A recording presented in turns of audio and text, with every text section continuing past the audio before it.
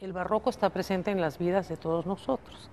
Desde que nosotros nacemos, eh, estamos acostumbrados en, ciudades como la Ciudad de México, como la ciudad de Michoacán, como Puebla, etcétera, a vivir dentro de espacios eh, que tienen este contenido barroco, a ver imágenes con este fuerte contenido barroco.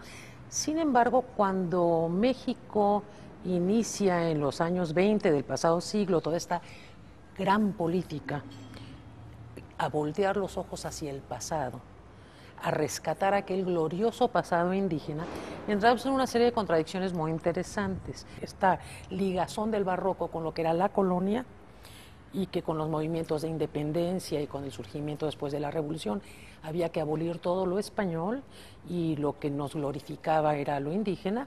La revolución produce un sentimiento antiespañol muy fuerte en México, ¿no? es decir, hay un rechazo de lo español. Y eso aunque a lo mejor hubiera podido ser, como dicen estos expertos, nunca, nunca fue reconocido. Inmediatamente después de la revolución, el doctor Attel, no sé si saben que hace primero una gran exposición de arte popular y después, paralelamente, y yo creo que no se puede separar, su gran libro sobre las iglesias de México. Eh, es el libro de las iglesias de México, en la cual se aprovechan fotografías de, de Guillermo Calo, más dibujos del propio doctor Atl, lo que se hace es una apología del barroco. Es decir, que la Revolución Mexicana y las políticas culturales de la Revolución Mexicana, efectivamente, ¿sí? establecen al barroco, lo que parece una contradicción tremenda. Porque si tomamos en cuenta, ¿no? quizá del porfiriato no nos podía extrañar, pero si tomamos en cuenta, digamos, que la Revolución Mexicana era una revolución totalmente jacobina, antirreligiosa, que inclusive después se prolonga con la guerra cristera y todo eso, entonces, efectivamente, adoptar al barroco como casi el estilo oficial, ¿no? Que además se contrapone, para mí, desde el punto de vista ideológico, totalmente con el muralismo mexicano y la escuela mexicana, ¿no? Es, bueno, desde luego, es fascinante. Es absolutamente fascinante. Y yo creo que no hemos reflexionado suficientemente sobre eso. Hay un dato muy importante. Eh, de las exposiciones internacionales que se organizó México después de 1910, ninguna contemplaba el arte virreinal como una parte central del arte mexicano hasta la de 30 siglos de esplendor que se hizo en los años 90. O sea, hay una marginación de esa etapa de nuestra historia muy importante. Nuestras exposiciones internacionales o bien eran de cosas prehispánicas o bien el muralismo, pero había un vacío, todo lo demás no existía. esa parte la teníamos borrada. Yo creo que fue una etapa de maduración, hubo una, la necesidad de, ir de ir sintiéndonos cada vez más este Octavio Paz lo pinta muy bien porque dice que la revolución fue como una etapa de adolescencia, ¿no? Una, en, el laberinto de la soledad, dice que nos descubrimos a nosotros mismos, viene el rechazo a nuestros padres, de ahí el, sentimiento antiespañol tan profundo ¿no? de la sociedad mexicana, este, todo este rechazo a Cristóbal, a Colón, a Cortés, ¿no? que, este, que no hay un monumento a Cortés en la Ciudad de México, todo esto tenía que ver un poco con eso. Y yo creo que la sociedad fue madurando, fue modernizándose, el presidente López Mateos, estoy hablando del periodo 58-64, crea el primer Museo de Arte Virreinal, ¿no? que es el de que está en Tepozotlán, ¿no? y, entonces este, este, eh, este museo es el primer pie, digamos, en, ese terreno, en la recuperación de esa tradición. Y efectivamente, a partir de los años 70, eso tendría que ver también con otra cosa.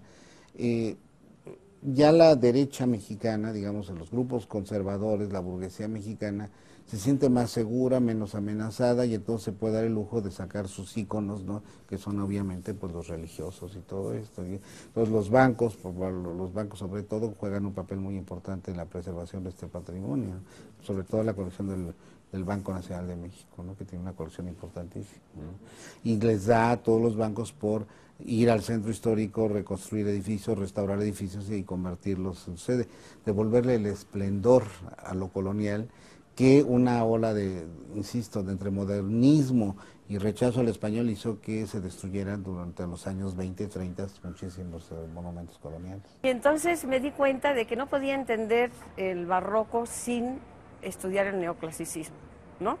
y entender por qué entre los historiadores del arte mexicanos había esa fobia contra el neoclasicismo, que lo consideraban el verdugo del barroco. ¿Y qué es lo que me encontré? Bueno, me encontré, por ejemplo, eh, hablando de ese mito, ¿no? y relacionándolo con el ser mexicano, me encontré con Manuel Toussaint, gran estudioso del barroco poblano, que llega a decir algo tan tremendo como eso, ¿no? que el barroco ¿no? es la expresión genuina de lo mexicano. Y entonces yo dije, o, o no sabía lo que era el barroco o no sabe eh, eh, en qué país está, ¿no? ¿Por qué? Porque resulta que yo, trabajando en los documentos de Puebla, eh, viendo por qué los obispos poblanos se dedican a hacha en mano a destruir el barroco, ¿sí? empecé a entender el porqué de la destrucción ¿no? del barroco y entonces definitivamente la afirmación de Toussaint me crea serias dudas. ¿Por qué? Porque justamente los obispos poblanos, y especialmente eh, eh, uno que, que, estoy en este momento ¿no? estudiando muy a fondo, llegan a decir algo tan interesante como, ¿sí? Vamos a quitar todos esos retablos, en ese momento, eso también es importante, no existe la palabra barroco, ni el concepto de barroco, de eso ya me he dado cuenta. Es decir, en el siglo XIX, en México, en la primera mitad del XIX, no existe ni la idea ni siquiera el concepto. Lo que nosotros ahora englobamos como barroco, ellos no lo veían como una unidad y tenían toda la razón. ¿no? Sin embargo, lo que me pareció muy interesante y ha sido como el inicio de toda mi este, repensar, todo mi repensar el barroco, es algo que me pareció fantástico. Ellos dicen, vamos a sustituir, ¿no? Estos retablos, ¿no? De gusto corrupto, o sea, ese obispo califica al barroco de corrupto, ¿no? Y los vamos a sustituir, ¿no? Por un estilo al que tampoco llaman neoclásico, porque también es una denominación posterior, todas las denominaciones estilísticas son posteriores, eh, por un estilo que refleje la claridad, ¿sí? la ilustración, etcétera, etcétera. ¿no? Incluso hablan de funcionalismo. ¿no? O sea, eh, realmente ideas muy, muy interesantes que hablan pues, de, la modernidad, pero sobre todo, y ahí es donde, por ahí van mis reflexiones y mis trabajos ahora, eh, ese gusto corrupto, ¿sí? Y yo dije, bueno, ¿por qué le llaman corrupto? A la conclusión a la que llegué definitivamente es que ellos asimilan eso que nosotros llamamos barroco al régimen colonial. Por lo tanto, regreso a Toussaint. Es decir, si el barroco representa lo genuinamente mexicano, entonces ya ya no me están coincidiendo ¿no? las ideas. Entonces, eh, sí, lo mexicano es esa modernidad, la independencia, la, no, ese ser mexicano empieza justamente ¿no? a aterrizar, a ser, ¿no? Eh, con la independencia, es ahí cuando empezamos a ser nosotros mismos, ¿no? a distinguirnos, a este, afianzar nuestra identidad. Entonces definitivamente no nos podemos identificar con lo barroco. O sea, algo está pasando ahí, ¿no? que, no, que no está casando. Y, pero lo interesante es que en, este coloquio que se llamaba Sentidos del Barroco hay una ponencia que realmente me interesó y que es la de Alfredo Jocelyn Holt, eh, que creo que pone las cosas en su lugar. Y, lo que confirma Alfredo es que eh, eh, es el, son los efectos nocivos de, de una práctica historiográfica totalmente conservadora que es la del uso indiscriminado de la analogía dependiente. ¿ah? Es decir, que así como en artes visuales buscamos a los Picasso chilenos, igual entonces tenemos que buscar si éramos barroco o no éramos barroco, es decir, siempre buscar esa relación analógico subordinada. ¿ah? Y Alfredo dice, bueno, pues, eh, es muy chistoso porque finalmente todos los, los, textos de los tipos que él revisa, que son historiadores, dice, bueno, aquí el problema del barroco es un problema ideológico. ¿ah? Es que estos tíos se inventan el barroco de su conveniencia para justificar eh, una especie de etos autoritario en Chile, de modo de darle a la dictadura de Pinochet un antecedente histórico-ontológico. lo cual resulta muy curioso. Y efectivamente quienes empezaron con eso fue un uh, historiador oligarca, oligarca, bueno, obviamente como Aizaguirre, luego sigue Bernardino Bravo, luego siguen unos eh, sociólogos que no sabría yo cómo calificar dentro de qué, pero como Pedro Morandé o gente así, em, que reproducen todos un poco el, sentido de esta especie de barroco originario. ¿ah? Y la posición de, Jocelyn Holt es decir, perdón, aquí ni barroco, sino más bien era un barroco pobre, un barroco kitsch, em, que no podría, a partir del cual, a partir de cuya manifestación no se podría concluir que el, barroco es el ethos ¿ah? de, la, de la nacionalidades latinoamericanas, como, como, lo, afirma Bernardino Bravo, sino más bien habría que buscarlo en especies de residuos de un clasicismo o de un iluminismo eh, transferido con todas las, las modificaciones y mermas que implica una transferencia intelectual de envergadura en las condiciones de fines del siglo XVIII, comienzo del siglo XIX, en, en una América que además de modo institucional es extremadamente diversa en términos de consistencias estatales, parroquiales y militares, ¿ah? por, decir, y jesuíticas, por, referirme a, productores de, a productores de trama, digamos, cívica.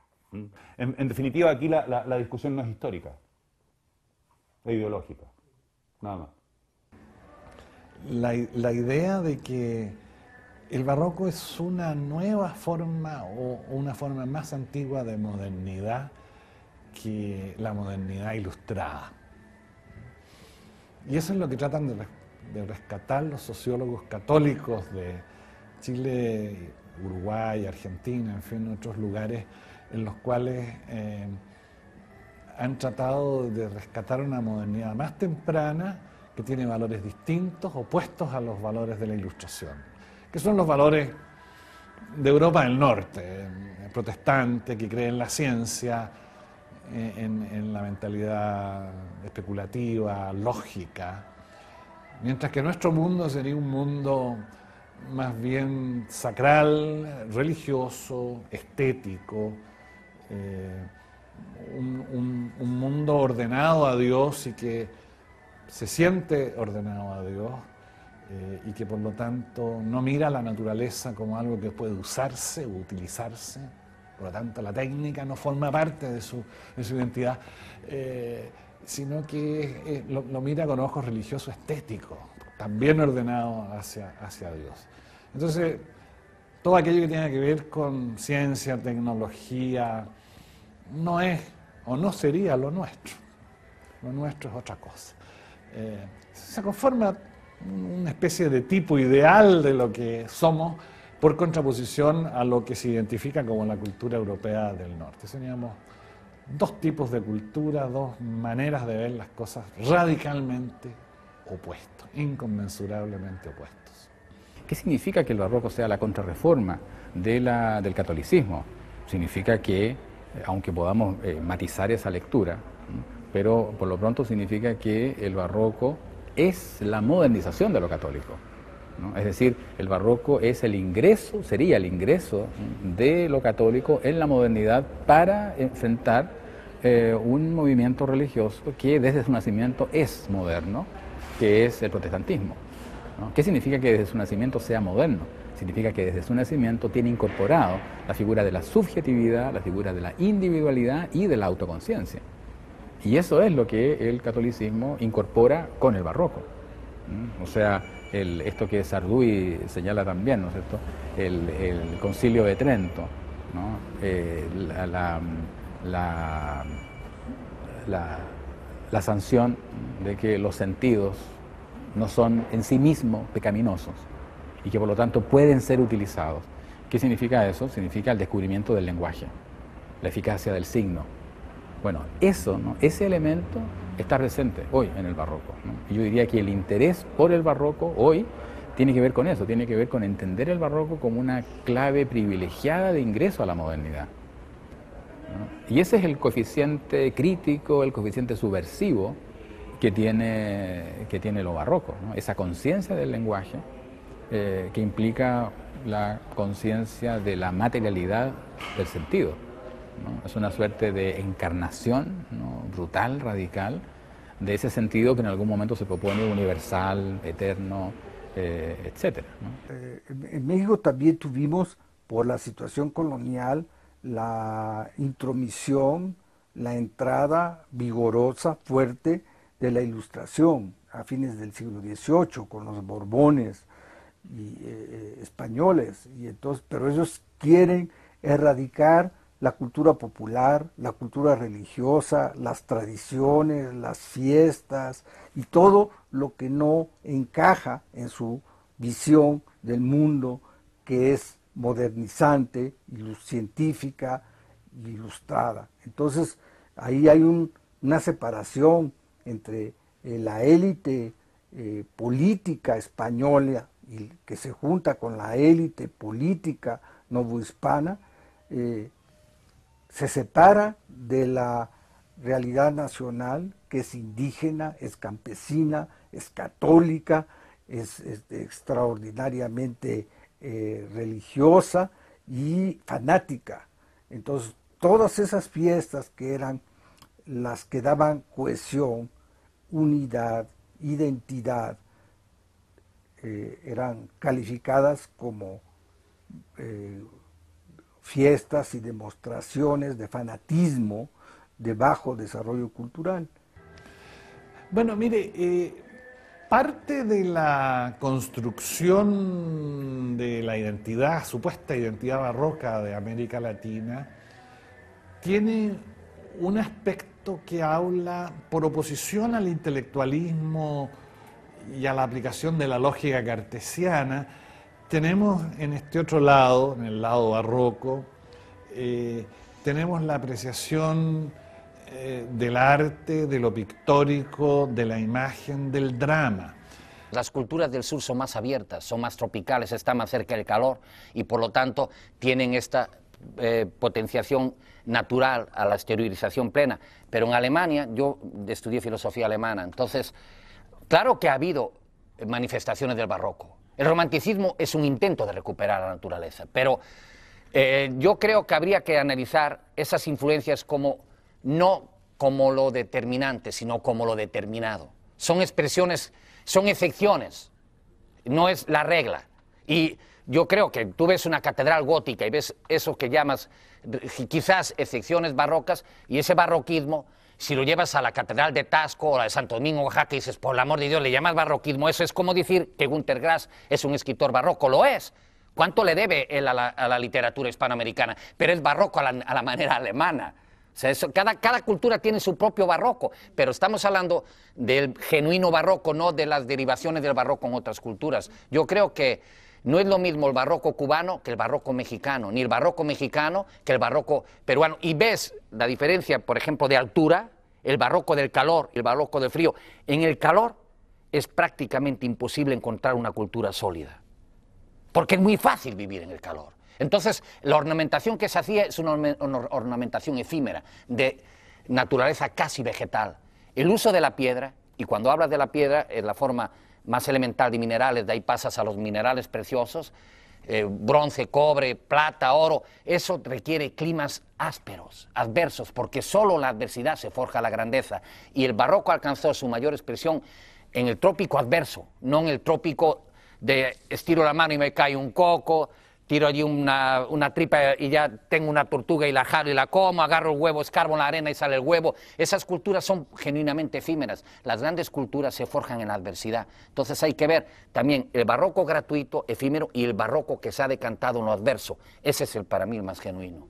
Eh, eh, yo no estoy de acuerdo con la crítica de, eh, de que somos así porque somos latinos y no somos mejores, entre comillas, como los anglosajones, porque no hemos tenido justamente esa, ese input de, orden y de este, ética del trabajo.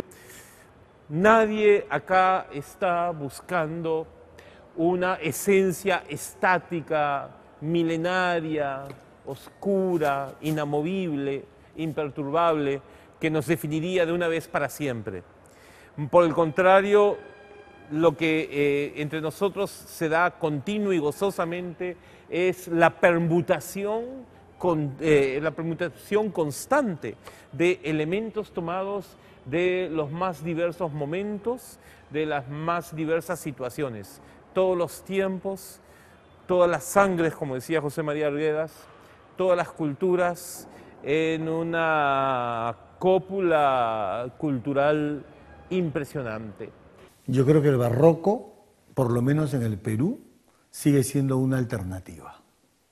¿no? En, en 1938, después, o en pleno esplendor del indigenismo, se consolidó ya esta imagen barroca, mestiza, americana, no solamente como una expresión, eh, repetitiva de los modelos europeos o hispanos, sino como una expresión donde realmente el nativo podía expresarse a través de la arquitectura, a través de la pintura, a través de la escultura e incluso de la indumentaria hasta el día de hoy. Es un capital, es un capital al cual podemos vincular proyectos de desarrollo.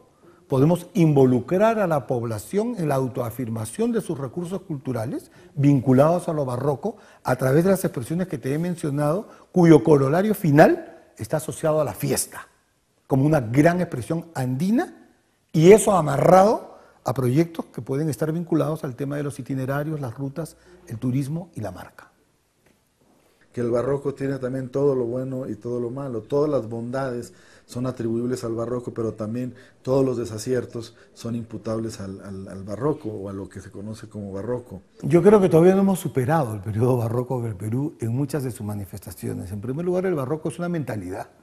Y en ese sentido todavía estamos en el barroquismo, a pesar de la vanguardia, lo posmoderno y todo lo que podamos tener en la actualidad.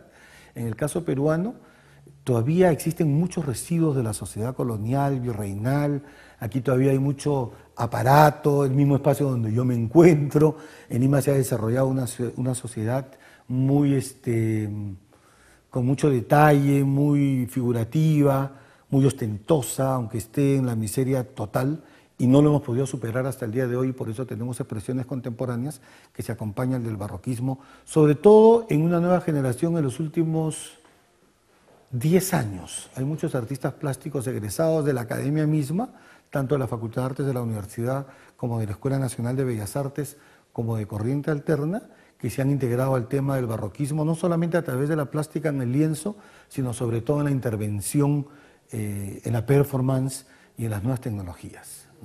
Y toman el elemento porque es tan cotidiano en una ciudad tan cucufata, tan religiosa, tan llena de iglesias como lo es Lima y lo es en general el Perú, es muy fácil coludirse con todo este espíritu barroco que muchas veces es imperceptible y que es la causa de que no resolvamos nuestros problemas también. No somos capaces de verlo de manera clara, amplia y general. A ver, el esquema barroco es visualmente contundente, es verdad, es, la expresión del poder, ¿no? pero también es cierto que es el poder de unos, no es el poder de todos es la, bonanza de unos, no la bonanza de todos.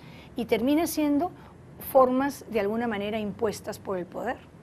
Porque cuando uno ve, por ejemplo, el barroco en el arte, el barroco en la arquitectura, se percata que es la imposición de un sector que busca crear una marca y de alguna manera someter a todos a, digamos, a aceptar que esos son los patrones. Eh, lo que es muy interesante es que el barroco se ha acentuado en nuestra manera de ser, en nuestros patrones culturales, en nuestros patrones de comunicación y nos comportamos cuando ejercemos ese, ese barroquismo tan antiguos y tan, eh, digamos, incoherentes como podríamos entender que puede ser una manera de ser. ¿Qué quiero decir con esto? Que sin que nos hayamos percatado, esa estructura tan compleja del barroco sigue siendo parte de nuestra manera de ser.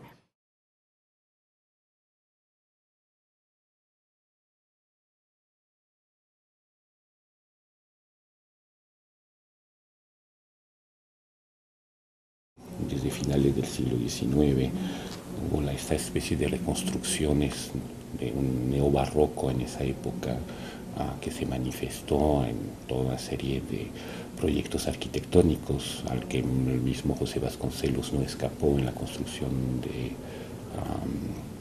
de la Secretaría de Educación Pública de 1921-22, que es basada en un convento, en la planta conventual, con los espacios diseñados de tal manera, la decoración encargada Diego Rivera, que tenía que llenar todo por todos lados, etcétera, etcétera. y era un discurso de los conservadores en ese momento, aunque formaba parte a la, construcción de los barrios como Polanco, etcétera, etcétera, las lomas de Chapultepec con toda esa arquitectura también derivada de del churrigueresco, del churrigueresco, ah, filtrado y totalmente depurado porque ya se hacían las columnas salomónicas con máquinas torno y no cincel a mano ese tipo de cosas, o sea, una higienización del barroco, pero no deja de ser barroco, era la, el gusto del el gusto del conservador en oposición al gusto a los intereses funcionalistas de arquitectos más ligados al, al PRI joven en esa época, como Juan O'Gorman, que es inspirado en Le Corbusier, que hacía cosas así como supuestamente muy ergonómicas, um, que a la postre resultaron no tan ergonómicas, pero en fin, eso es otra historia, la intención era esta. Uh, eso sí yo creo que lo estamos volviendo a ver de alguna manera aquí, y simplemente remitiría al libro de Daniela Rosell, Ricas y Famosas.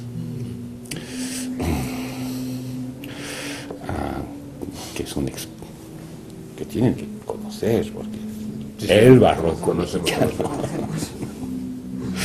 el neobarroco mexicano. Creo que se puede hacer igualmente un desmontaje histórico de cómo es que la noción de barroco vino a aplicarse como eh, hipótesis de identificación en la cultura de lo que llamamos América Latina. Me queda claro que tiene que ver con estos procesos de lo que propiamente llamamos revival cultural. O sea, es un proceso similar al que ocurrió en relación con el gótico, en relación con la cultura, la cultura este, europea. Aquello que para principios del siglo XX representaba todo lo oscuro, monstruoso y intratable de la cultura del pasado, del pasado colonial en particular, de pronto hacia los años 20 y 30 es recuperado para oponerse a una visión racionalista, positivista y, eh, y transparente de la modernidad. Se le recupera con varias agendas diversas y diferenciadas. Hay recuperaciones que tuvieron que ver con el intento de reenlazar el presente moderno de América Latina y España con el mundo del imperio español del siglo XVII eh, o XVIII, el siglo de oro y sus, y, sus, y, sus consecuencias. O sea, con la idea de reivindicar esa liga común con este imperio fracasado para 1892. Ahí había una especie de nostalgia por la hispanidad. También apareció abiertamente como una reivindicación de lo, de lo peculiar de América tanto eh, en particular eh, Alejo Carpentier, como personajes como, como el doctor Atl en México, utilizan la, noción de, la noción de barroco para tratar de afinar una especie de característica específica de lo latinoamericano. ¿Por qué escogen la noción de barroco? El caso de, Alejo es el más interesante, porque le permite eh, espacializar y de alguna manera apropiarse territorialmente de la construcción del surrealismo para tratar de convertirla en una característica prácticamente esencialista o nativista de América Latina. El, barroco es como la figura erudita del surrealismo innato. ¿Pero para qué vamos a estudiar el surrealismo? Somos surrealistas. ¿ah? O somos barrocos. No, eso es una pendejada. ¿ah? No, no, no. En ese sentido hay una estrategia y una operación que consistía en retomar la noción de, la crítica de la modernidad y la, racionalidad y la transparencia que había pro- provocado el argumento de Breton y convertirlo en un argumento de identidad.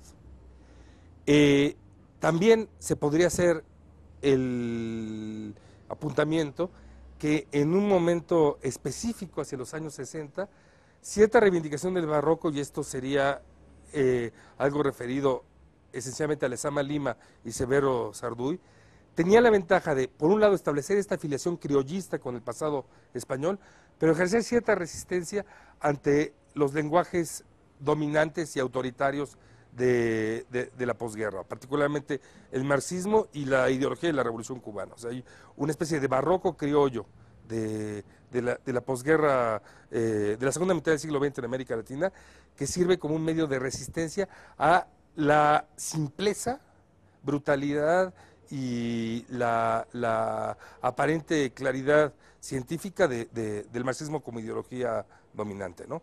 Esa estructura de la realidad temporal barroca tuvo efectos políticos.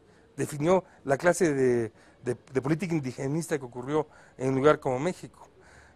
Definió eh, la posibilidad de llegar a pensar que era imposible tener una democracia occidental de agentes modernos libres, porque existe esta visión de, de- seres que tienen temporalidades incompatibles. Tiene efectos reales.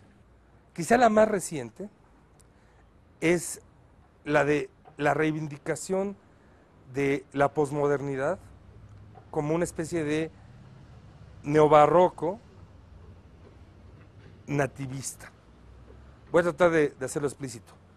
Seix Grushinsky lo que argumenta es que en realidad lo que los europeos postularon como posmodernidad es el resultado de la, de la- de la sociedad mestiza y, y de la condición pluricultural conflictiva y compleja de América Latina y por tanto entendería que esa realidad barroca antecede a la posmodernidad. ¿Cuál es la intención del argumento de Grushinsky? Es una intención que yo creo que todavía consideraría útil. Y es fundamentalmente tratar de ladear nuestra discusión sobre la posmodernidad. Estamos hablando de un, texto de, de mediados a fines de los años, de los años 80, hacia entenderla como el lugar de conflicto y encuentro de una diversidad de culturas y una, diversidad de, de- de posiciones eh, culturales incompatibles. O sea, definir posmodernidad esencialmente en relación con el conflicto de, la, de lo poscolonial y lo, y, lo, y lo multicultural. En ese sentido, quizá esa noción del neobarroquismo de la América Latina tuvo un proyecto político muy interesante porque suponía la crítica tanto de la noción unificada del tiempo y de eh, la identidad de los estados latinoamericanos presentes, como la visión de una posmodernidad como resultado esencialmente de el proceso postindustrial, o sea, un intento de, generar una, una, una posmodernidad definida desde el sur. Pero esa posición eh, yo la contrastaría de una manera muy radical con el argumento de, de Carpentier, que finalmente contiene un cierto grado de complacencia, porque lo que hace Carpentier, en cierta manera, es naturalizar la brutalidad histórica del continente, aceptar la, la violencia, el despotismo y, la, irracionalidad de- de- los regímenes postcoloniales de, América Latina como una condición poética de lo real maravilloso. Y por tanto, sería posible decir que la liga entre Carpentier y el régimen de Fidel Castro en Cuba no es artificial. Es decir, que en cierta manera la justificación del tirano como, como representación del real maravilloso lat- latinoamericano, del, del- del- del surrealismo este, eh, mestizo, era conveniente para la extraña construcción que finalmente representó la, la revolución cubana, que, que el régimen de Castro no ha hecho mal en reivindicar a, a- Carpentier como, como uno de sus pilares ideológicos. Eh, un poco lo que estoy tratando de, de, decir con eso es que creo que convendría tener ahí un juicio específico sobre las distintas apariciones de, estos conceptos en lugar de un intento de, valoración general. Postmodernismo en el caso de la estética y también el concepto de neobarroco vienen a pensar precisamente esa figura, ¿no? ese agotamiento. Por eso que me parece tan lúcida la, noción que propone Borges respecto al barroco. O sea, el neobarroco de Sarduy, por ejemplo, esas son sus expectativas. Y que es muy distinto al neobarroco propuesto por un calabrese, digamos el neobarroco europeo, con un calabrese que tiene sus antecedentes, el mismo Benjamin, su idea del, drama barroco alemán, es muy distinto. Es muy distinto porque en ese caso neobarroco es otra manera de decir posmodernismo o sea, para, para Calabrese, ¿no es cierto? Eh, el nombre de la rosa de Eco es una obra neobarroca. Para Sarduy, llamar neobarroco al nombre de la rosa de Eco habría sido un escándalo. Eh, eh, Sarduy habría dicho que es una golosina para el mercado. Es una diferencia radical, ¿no es cierto?, entre, qué sé yo, Cobra, ¿no es cierto?, de Sarduy y el nombre de la rosa de Eco. Hay una diferencia abismal.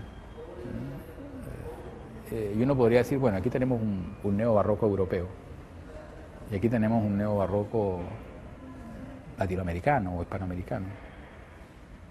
En, América Latina fue quizás el primer intento para hablar de la hibridización. En términos de resistencia. En términos de resistencia y así. Eh, se usó mucho el barroco para hablar cuando Gramsci se puso de moda, la hegemonía, por ejemplo. Ahora estos discursos empiezan a a no funcionar, sin duda.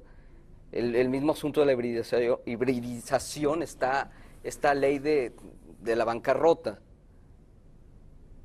Y es interesante, los nuevos intelectuales latinoamericanos, los que están escribiendo ahora, empiezan a tratar de romper con lo que decía al principio, con el siglo XIX y volver al problema de la colonia. Y en ese sentido, quizás vamos a tener una nueva reinterpretación del barroco. Y quizás, quizás, de lo que pudiéramos hablar nosotros sería de nuestros usos resistentes del barroco, es decir, de cómo somos tan pillos que usamos ciertas figuras del barroco para establecer una política de resistencia contra los excesos del barroco, como que habría dos barrocos, ¿ah? un barroco, un barroco del, poder ¿ah? y un barroco del antipoder o del contrapoder. Es decir, que eh, pero ya no estamos hablando ni del barroco histórico ni del barroco como etos, sino del barroco como una hipótesis de trabajo, el barroco casi como una política, mm, como una contrapolítica de la imagen, ¿ves? Y, en ese sentido, claro, ya, ya nos vamos hacia otro universo y decimos, bueno, no estamos hablando de barroco, estamos hablando francamente de política y de cómo nosotros podemos, en, en un país como este, con estas características que ya te han definido de, de, de, pulcritud, de, iluminismo, de tardo iluminismo. ¿ah?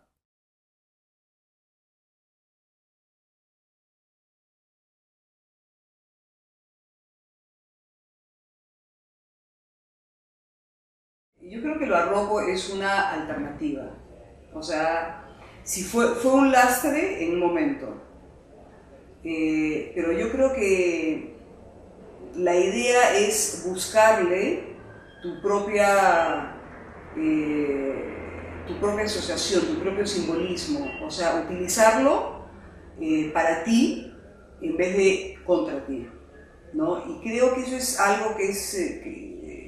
eso es lo que está sucediendo, creo, en esos momentos. Y esa liberación nos está trayendo una identidad mucho más eh, concisa, o sea, estamos, estamos más seguros ahora de nuestra identidad. Y, creo que, o sea, ese cambio, esa, nueva perspectiva es lo que está permitiendo de que el barroco quede como un aliado y que no quede como un, como un cazador. ¿no? El barroco adquiere renovada y sorprendente vigencia hoy en día porque eh, más allá del aspecto histórico original de ese mal llamado estilo, eh, había en él una posibilidad de incorporación de la diferencia. Y esto es un asunto crucial y de vida y muerte, no solo para la subsistencia, sino para el avance triunfante de las estéticas nuevas en nuestro continente. Y esa,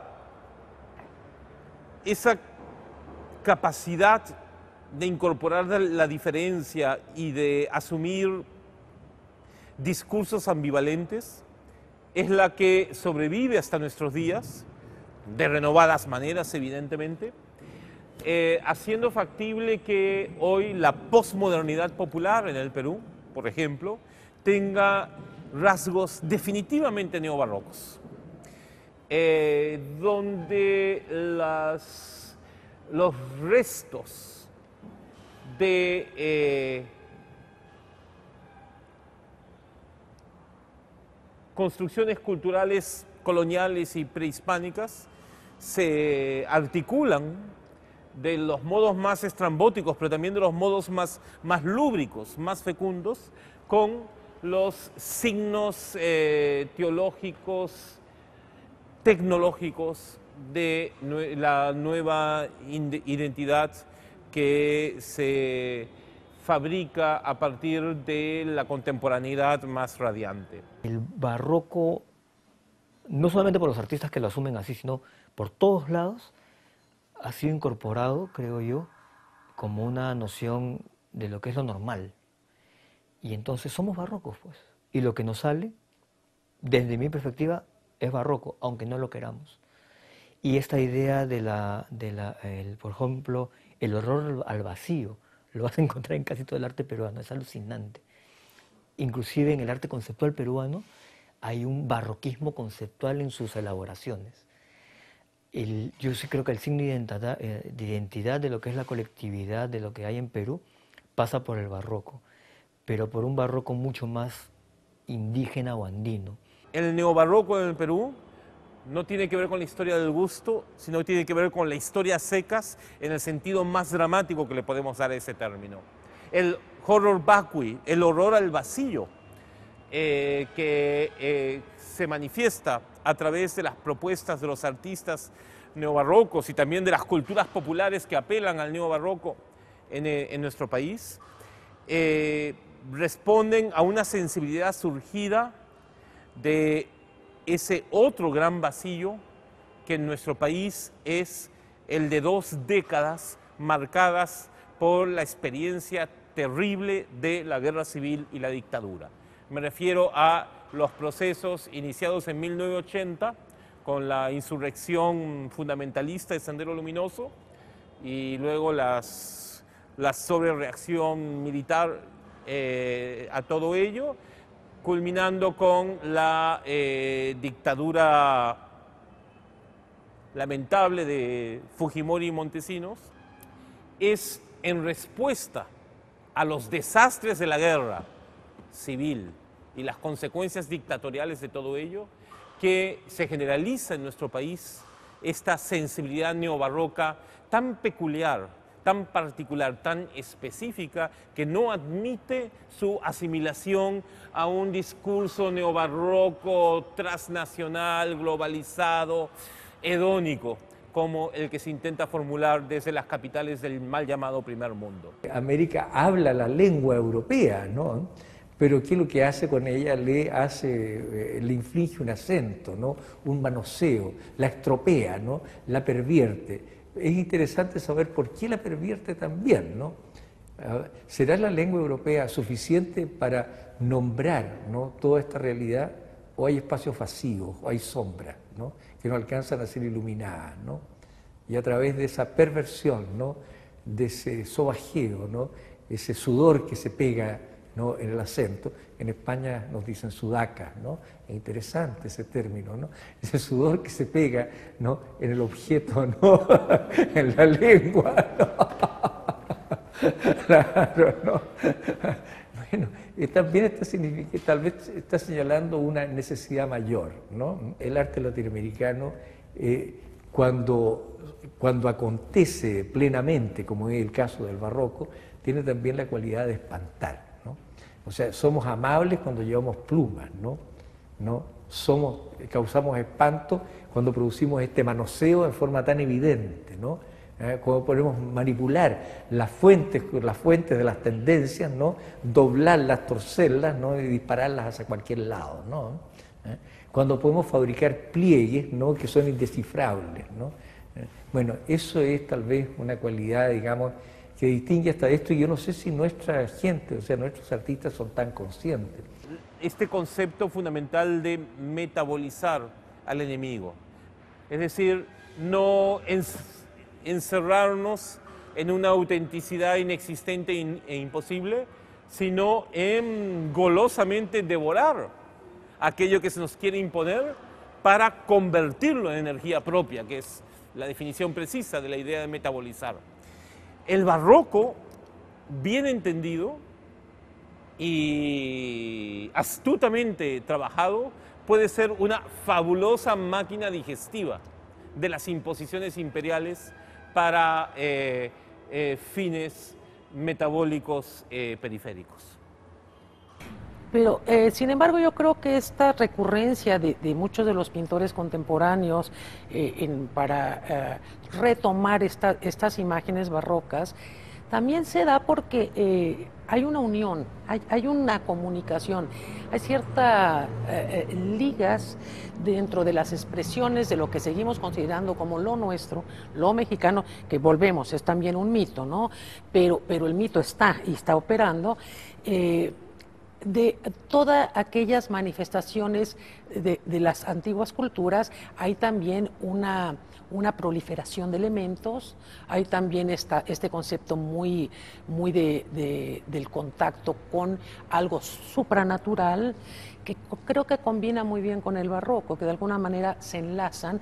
Entonces, este mestizaje que, se da, este par de, culturas, de, mitos culturales que están sustentando, de alguna manera se comunican y se enlazan y, vemos en estas eh, manifestaciones en los artistas mexicanos, por ejemplo, de los años 80 en adelante, se empieza a ver esta especie de neomexicanismo en donde mezclan ya todas estas imágenes muy eh, de conceptos populares, por un lado, en donde involucran elementos del barroco, involucran elementos también ligados muy a, la esencia de lo mexicano, con ídolos populares, etcétera, y muy ligado a este concepto de ese barroquismo, ¿no? Ya, no el barroco como el movimiento, el gran movimiento de la contrarreforma, sino esta, esta cosa de abigarramiento, de exceso de, adornos, de exceso de elementos, que también de alguna manera es una pues una contraparte a todos estos movimientos que se dan también hacia la mitad de, perdón, hacia finales del siglo pasado, de ese minimalismo, de, ese, de esas cosas tan elementales, tan esquemáticas y, eh, nuestras culturas latinas buscan como afianzarse en esta riqueza de color, de elementos, etcétera, ¿no? Lejos de nuestra voluntad, y si quisiera que esto lo, mantengan después de la edición inevitable de, la, conversación que mantenemos. Eh, lejos de nuestra voluntad, cualquier vocación absolutizante de una u otra fórmula de sanación cultural. El neobarroco es una propuesta, es una apuesta, también es una puesta en escena de posibilidades y logros indudables, pero no es la eh, solución universal al tipo de problemas que nos inquietan.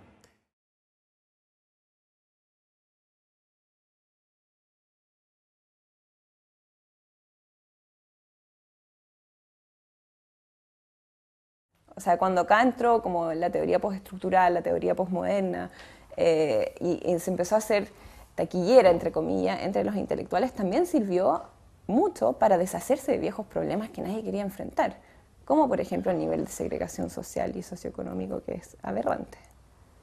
No sé, también eso me hace pensar en cómo, digamos, cómo se ha difundido el discurso del barroco en, Europa, ¿no? O sea, cuando he escuchado, por ejemplo, algunas charlas de, de, artistas que han venido, por ejemplo, para el Festival de Arte Electrónico, y con propuestas sobre América Latina, hay muchos, eh, en la revista Humboldt también, he visto que bastante importancia se le ha dado a este tema, ¿no? Pero creo que ese es más un tópico, es un tópico, es de una América Latina imaginada. Yo no estoy tan seguro que esa sea América Latina, concretamente en cada una de las escenas, eh, la escena en el Perú, la escena, por ejemplo, Iquitos. ¿Qué tan barroca puede ser Iquitos? ¿no? Y, si, y claro, si uno busca elementos barrocos, los va a encontrar, pero también puede buscar otras cosas, ¿no? Eh, si es atractivo, esa atracción creo a, a ojos del, del, que no, de repente no conoce América Latina ¿no? y que lo ve desde fuera. Recuerdo hace algunos años, el año 2000, 2001, eh, en Berlín, eh, iba yo con un grupo de cinco artistas chilenas. Eh, y me llamaba mucho la atención las expectativas respecto a ellas, ¿no? porque eran cinco artistas chilenas, por lo tanto, mujeres latinoamericanas, chilenas. ¿Qué significa eso?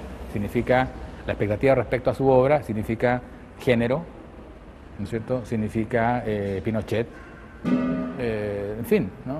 Y resulta que cuando se encuentran con la obra, el comentario que, bueno, a una gente le gustó mucho, pero el comentario que hicieron otros alemanes fue, es una obra demasiado internacional, ¿no? es decir, es demasiado occidental, diríamos. ¿no? Esta, esta especie de, de trampa, ¿no?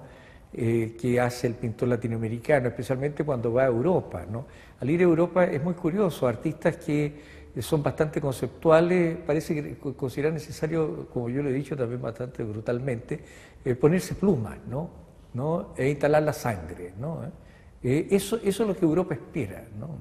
Hay algunas exposiciones últimamente, qué sé yo, en el propio Museo de Arte Contemporáneo, una curada por el propio Brugnoli sobre efectos del barroco, pero son operaciones de, tremendamente forzadas que más bien eh, dicen relación con el reconocimiento de la existencia de una manifestación de esa naturaleza, pero que en términos de atribuirles a esas manifestaciones un rol en la organización general del campo, no, me, me parece que, es un, que no es así.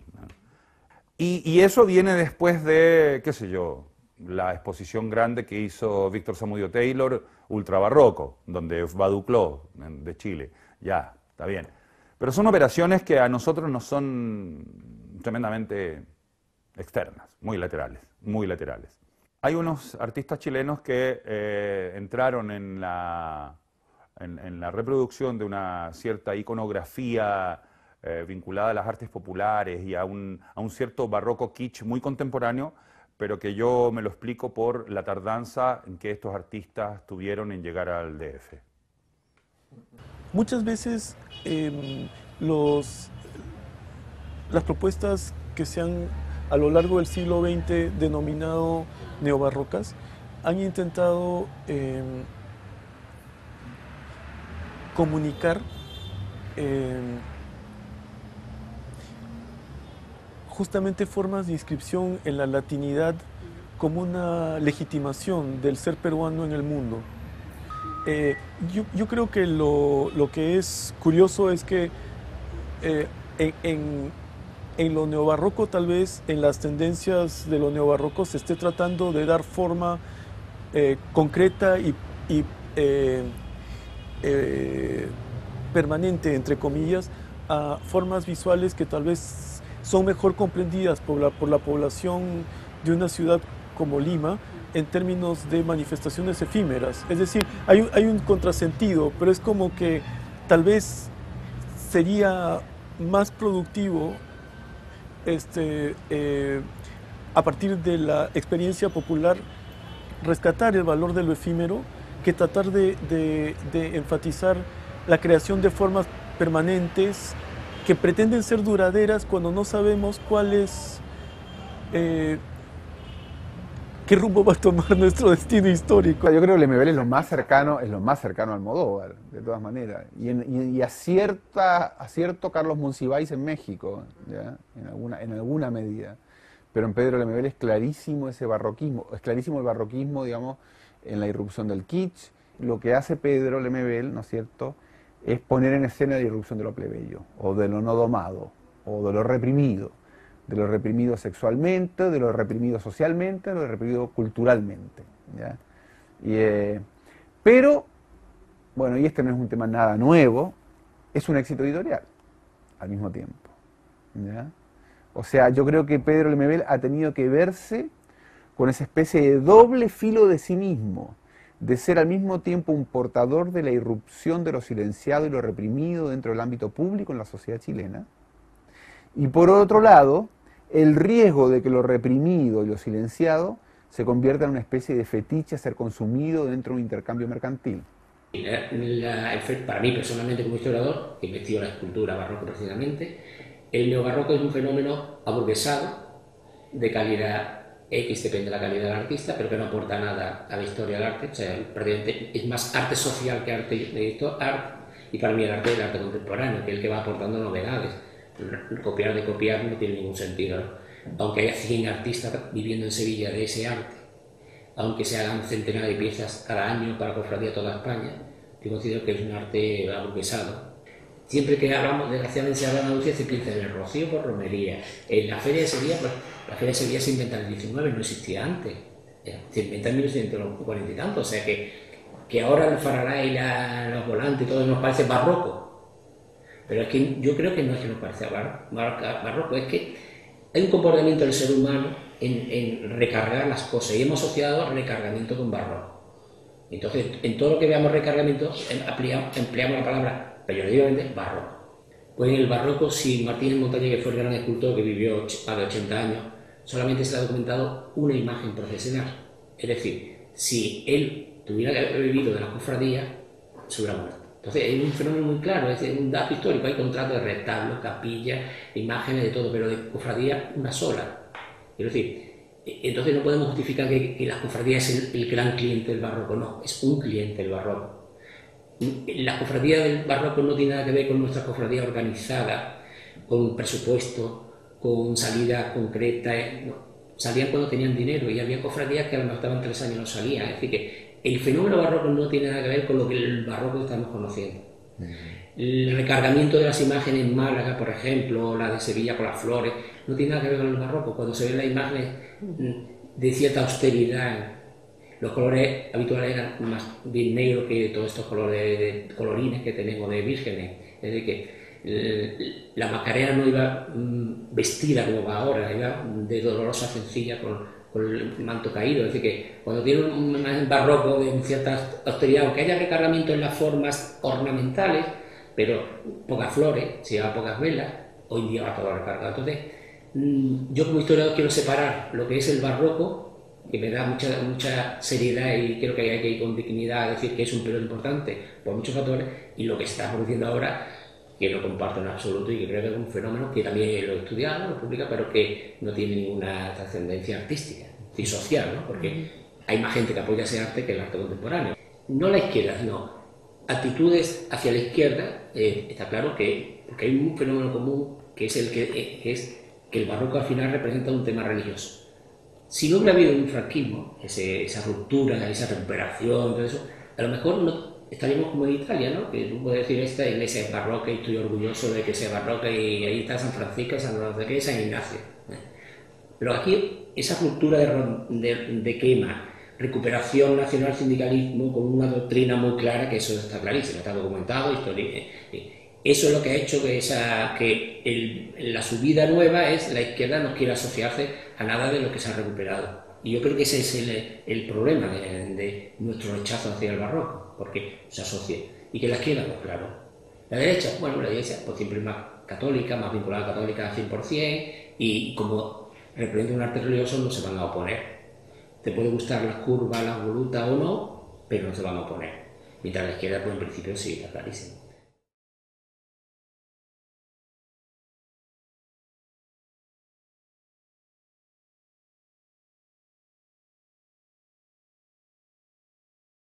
Ese barroco que surge, que es esencialmente una imposición de la cultura eh, europea, aparece como si fuera una rebelión contra lo europeo, que, no lo es.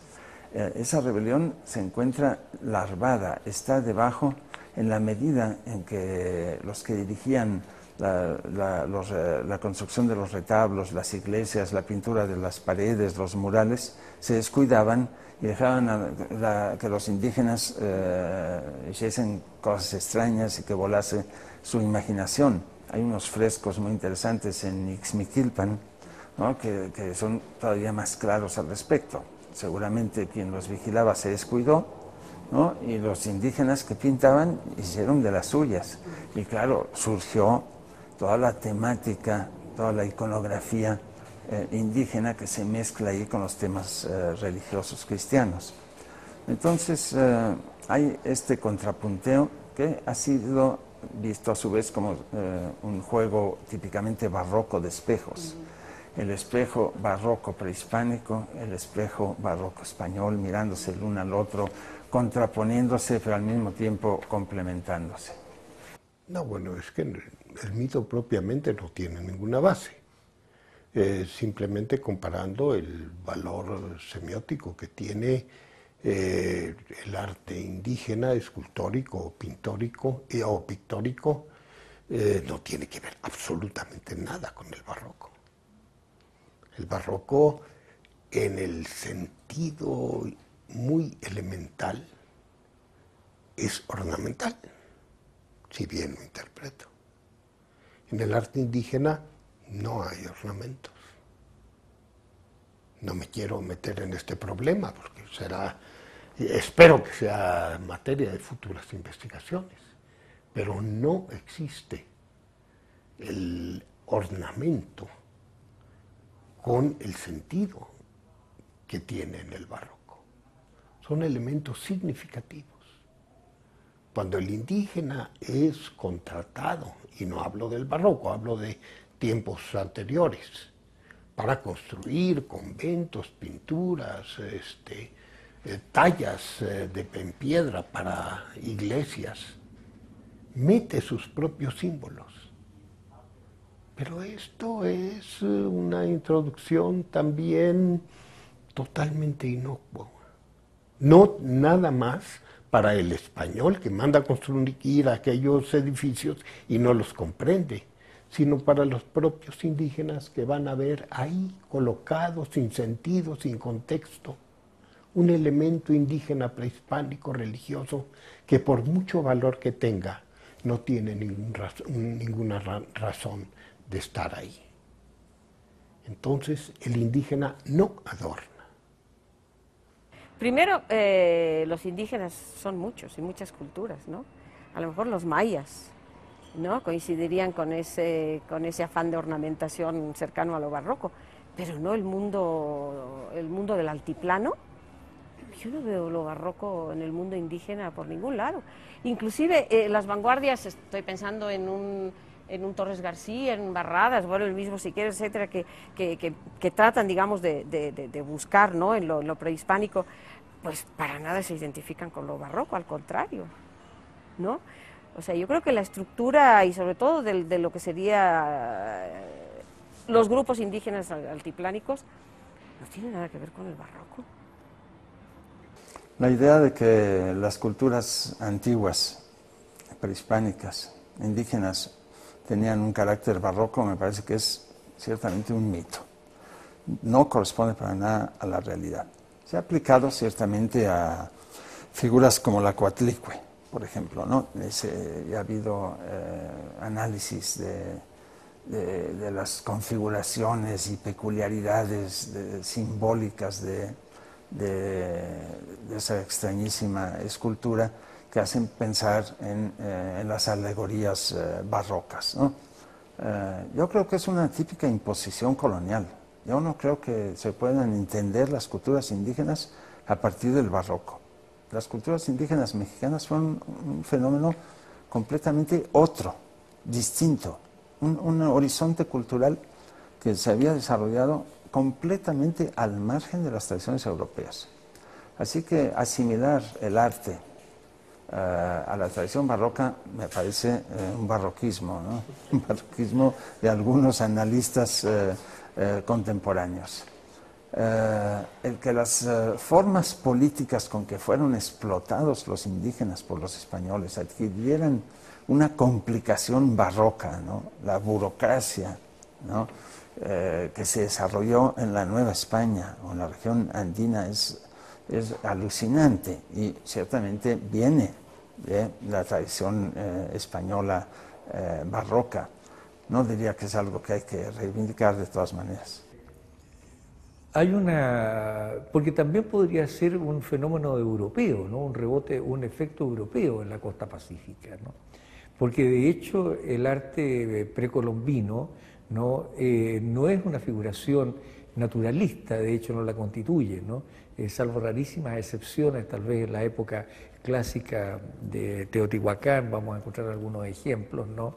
tal vez en los últimos periodos del incanato, pero en general hay una fuerte marca abstracta ¿no? en todo el desarrollo iberoamericano precolombino. ¿no? Un amigo que no, es que no es historiador del arte, pero que es una persona sensible, me, una vez me dio una explicación que me pareció muy interesante.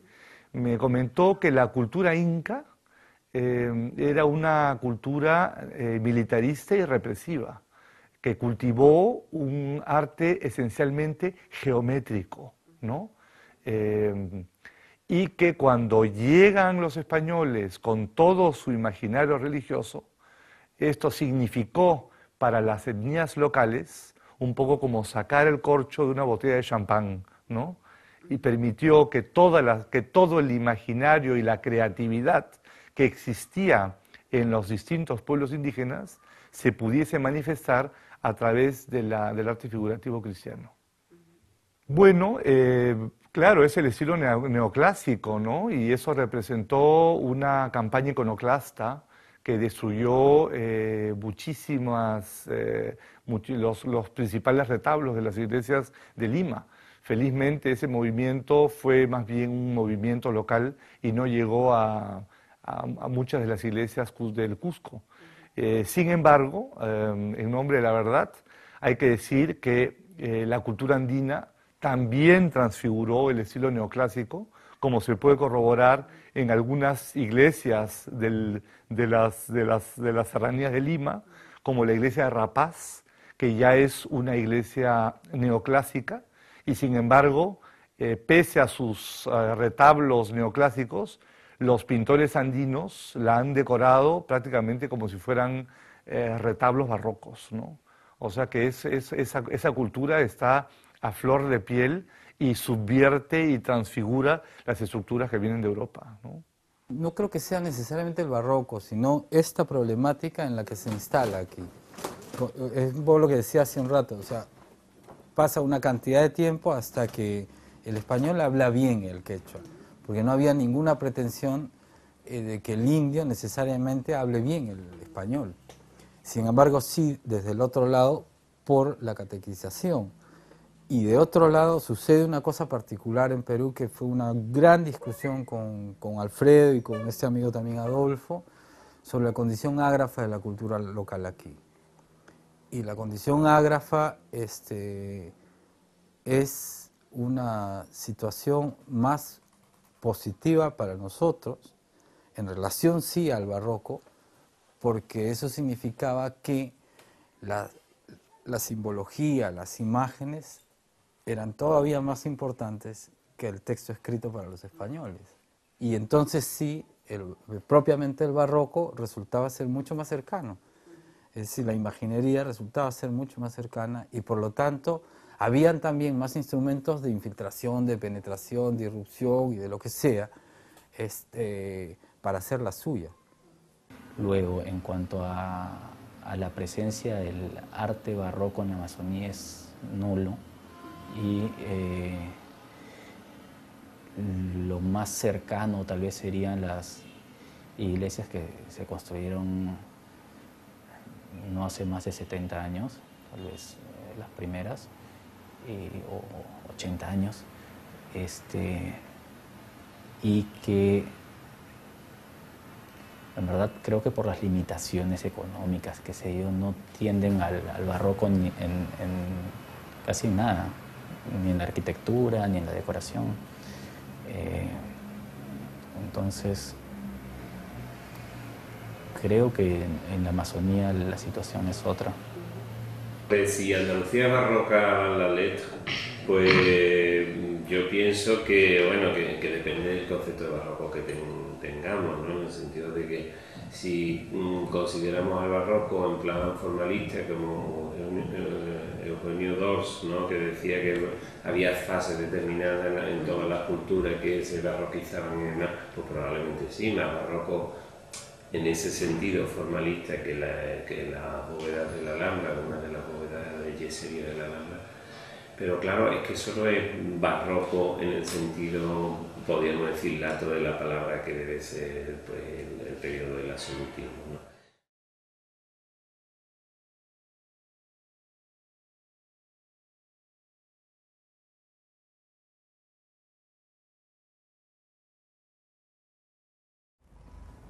¿Qué será en esa, eso, eh, todo esta, esta, este afán de oro ¿no? que aparece en los altares eh, eh, latinoamericanos? ¿Puede ser datado solamente en Chorrillera y en toda la, arquitectura dorada española? ¿no? Esto va más allá. ¿no? a mi juicio, aquí hay una metáfora también. ¿no? España viene a buscar oro. ¿no? Hay que entregarle oro, ¿no? pero ese oro es de mentira es una lámina, ¿no?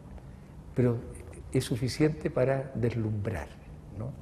Entonces cuando ¿no es cierto? la iglesia pide ¿no es cierto? que los altares sean dorados, yo creo que el indígena nuestro ¿no? encuentra una gran oportunidad ¿no? De deslumbrar más allá de lo pedido, ¿no? ¿no? sobrepasar el lenguaje ¿no? y satisfacer con la imagen, con la imaginación. ¿no? a ver qué tenían las gentes en su casa, ¿no? Porque decimos el barroco, el barroco. Entonces yo digo, bueno, ¿la gente vivía barrocamente? No, la gente vivía este, con muy pocos medios. Por ejemplo, la gente tenía dos o tres vestidos a lo largo de su vida, ¿no? Hasta el punto de que se heredaban, ¿no? Un viudo, una viuda, ¿no? Llevaba, ¿no? Al siguiente matrimonio los vestidos, los vestidos del difunto, ¿no? porque realmente, y eso estoy hablando de, familias acomodadas que, hacían testamento, porque bueno, tenían un capital de 4 mil pesos para arriba hasta 12 mil, que es el promedio, ¿no? Que también la doctora Pilar González. Y entonces uno bueno, ¿cuántos, qué muebles tenían, ¿no? ¿Qué vestimenta usaban? ¿Qué, cuestiones pues, pues de, vajilla, de objetos orientales también que llegaban, ¿no? Jarrones, etcétera, etcétera.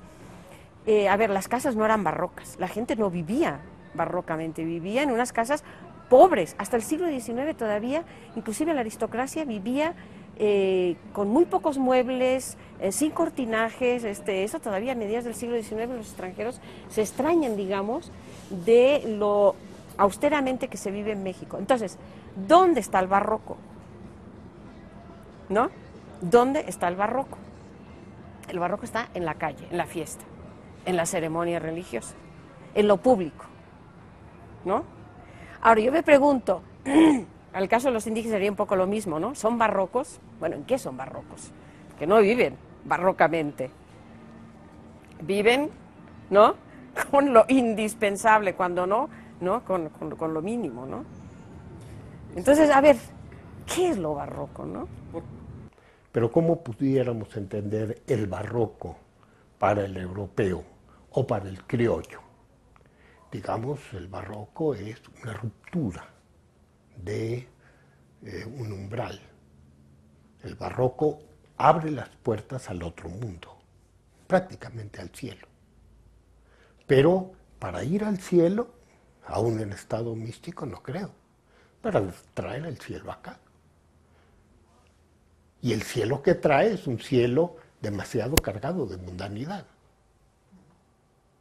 ¿Por qué? Porque es un, barroco, es un cielo que tiene aromas, que tiene eh, golpes de viento, que tiene este, sabores, que tiene un colorido demasiado terrenal, que tiene sensaciones, actitudes demasiado terrenales, o sea, abre la puerta pero no para ir, sino para que se derrame se derrame ricamente en este mundo.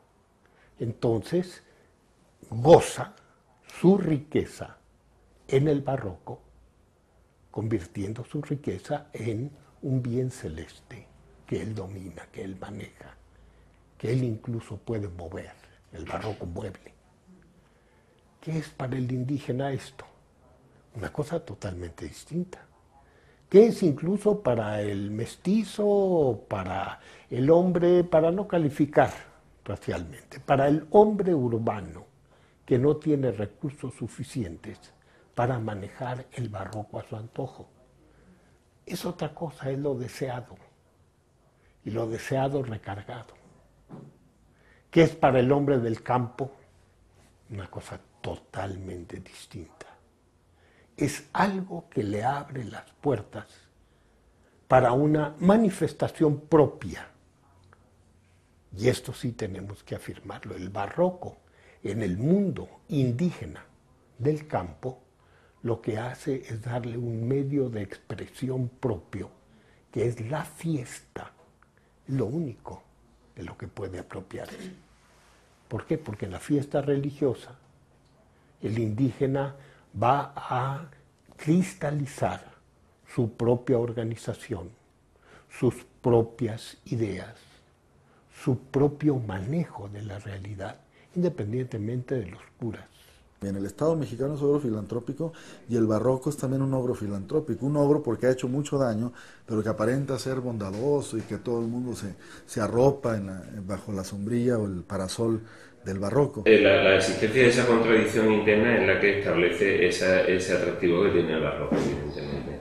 Por un lado, la clase dirigente que quiere mm, promover un estilo y demás, que al final acaban haciendo neoclasicismo porque se van eh, modernizando y demás. Y por otro lado, la, sociedad civil, por así decirlo, y popular, que es el 90% de la población que vive en el campo y demás, y que lo que le interesa del barroco es precisamente el sentido de espectáculo que tiene, de atractivo, etcétera, y de participación. Y entonces, lógicamente, cuando deciden cortar y adaptar otro o adoptar otro estilo imperante en Europa, que es el neoclasicismo, pues lo, podríamos decir que muchas de las clases populares se mantienen aferradas al, al gusto espectacular del barroco.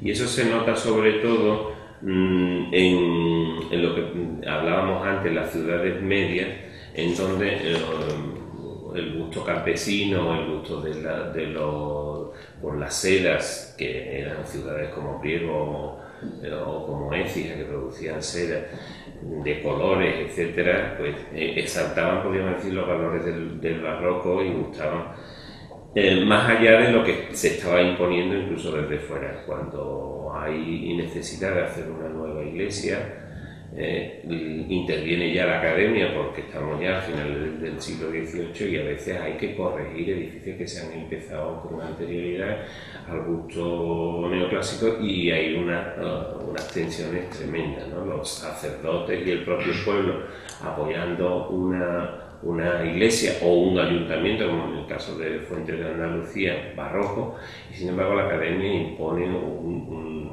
un estilo desde Madrid y desde centralidad, pues están imponiendo un estilo que realmente es el neoclasicismo. Sin embargo, en ciudades como Cádiz, mm, la burguesía acepta ese nuevo estilo, el neoclasicismo, pero de mil amores, porque lógicamente están conectados con la cultura europea de la época, la mayor parte de los comerciantes son extranjeros, los que viven en la ciudad, y hay otro, otro, otro mundo en ese caso de que el invento del barroco, sí, esa, crear el barroco como identidad, andaluza, se produce en la posguerra para acá. Cuando Blas Infante, en la década de los 10, crea el Estatuto de Andalucía, en lo que es el, nacionalismo andaluz, pues eh, su referente no se le ocurrió el barroco, fue el Islam. O bandera blanca y verde está inspirada en, en temas medieval islámico su propia casa, él construye su casa entre Coria, cerca de Coria, de Río, en un pueblo que tiene su casa. Él construye su casa con ladrillos y con elementos mudéjares. Él no incorpora el barroco. En la mentalidad del hombre de, antes de 1930, el barroco no era nada. El barroco sí que empieza a, despuntar cuando la generación del 27 mm, hace el homenaje a Góngora, y por eso surge el 27, que era el año que se conmemora. Pero era más, era más por el mito de Góngora que por su propia literatura. ¿no? Y no por el concepto barroco, sino por el personaje que significaba. Pero el concepto barroco que hoy tenemos, los que tenemos, que los que tenemos, los que hemos vivido de los 60 para acá, eh, ese concepto de asociar, de asociar Andalucía con el barroco, personalmente un invento del siglo XX. Un invento del siglo XX el aspecto en que, y lo quiero, y eso es un tema que siempre debato, es que si es cierto que al final del siglo XIX la sociedad empieza a buscar identidades, nace todo el nacionalismo. Andalucía no lo busca hasta el principio del siglo XX, ¿no? Pero en el XIX, aparte de buscar identidades, eh, hay algo que creo importante a nivel de historia del arte, de historia y de mentalidad, y no se dice, es que cuando la restauración de Alfonso XII se empieza a devolver a la iglesia posesiones, iglesias, conventos, etcétera, etcétera, se empieza a reorganizar las cofradías, en Andalucía y en toda España también. Entonces, y los jesuitas, una de las órdenes, empiezan a desarrollar un, empiezan a difundir un arte que se llama el neogótico toda la burguesía española católica del final del XIX tiene cosas neogóticas. Su capilla neogótica, su mueble neogótico. El neogótico pasa a las casas, pasa a los templos. ¿eh? No, hay, no el barroco, es el neogótico. Porque lo medieval en ese momento es, es lo histórico. Por lo tanto, hoy, si hacemos esta reflexión, vemos que, que, lo hemos inventado, nuestra generación se ha inventado la identidad barroca. ¿eh? Lo que sí es cierto que el hombre del 16, el romanticismo que es una vuelta a la Edad Media, al edificio ruina, al gótico, románico. El hombre del XIX, su identidad lo ve en lo medieval, no lo ve en lo barroco, porque, tal vez porque lo tengamos próximo, bien, o porque a lo mejor no lo valora, no lo conoce o no lo quiere conocer, pero se inspira en lo medieval. yo hago este ejemplo, ¿no? es decir, la sociedad española, incluida la catalana, quitando el modernismo, que es un fenómeno burgués industrial, pero el burgués católico, el burgués católico es, es neogótico en todas partes eh, vuestra catedral, la catedral de Barcelona, neogótica, porque estamos final del 19 y los burgueses católicos, el sector católico burgués, es neogótico, es, historicista.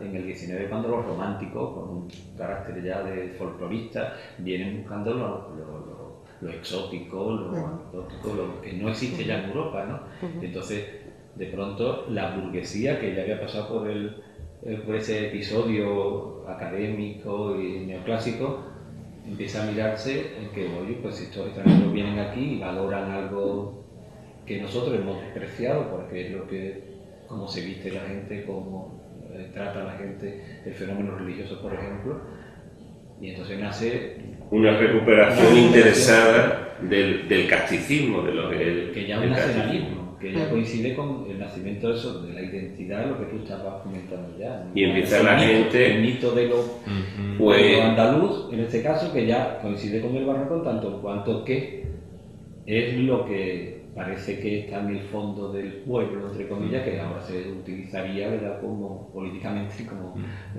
elemento para que los que se puedan sustentar ideológicamente. Y es curioso que, por ejemplo, una fiesta como la Feria de Sevilla aparece en la época romántica, justamente, eh, y además es inventada por dos, por un catalán y por un vasco, ¿no? Es decir, que son burgueses afincados en Sevilla que lo que quieren es vestirse, vestirse de casticismo, ¿no? que es una manera de, también asimilar esa cultura popular que hay aquí y hacerla uh, y la Semana Santa identitaria. La, regula y la normaliza, la hace que reviva un francés, que es Montpensier, o sea, el hijo de Luis Felipe, que era el rey, el burgués, el rey liberal de Francia, el hijo pues viene a Sevilla y es el que recupera la Semana Santa.